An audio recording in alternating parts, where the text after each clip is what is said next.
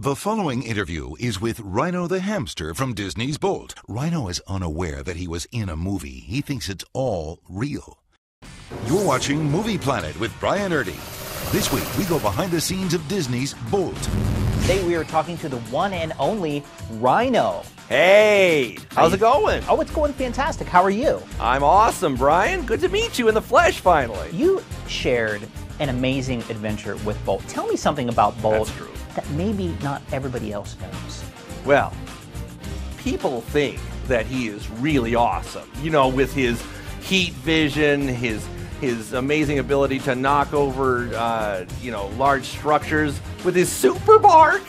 But what people don't realize that he's not just really awesome.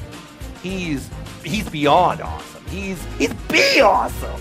Wouldn't it be great if like your adventure with Bolt was made into like a a movie and and Whoa. eh, yeah and they release it on DVD. They No. release it on DVD, and then not only do you get to see your entire story played out, but what if like the marketing department says, "Hey, let's do a special bonus feature which is only you."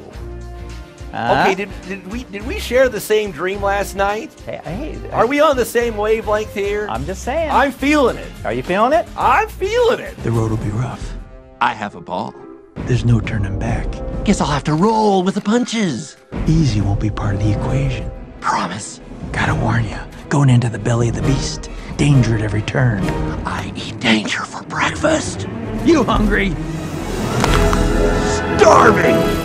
Movie Planet is brought to you by Inside Cable and Hair, a Tony Anders concept.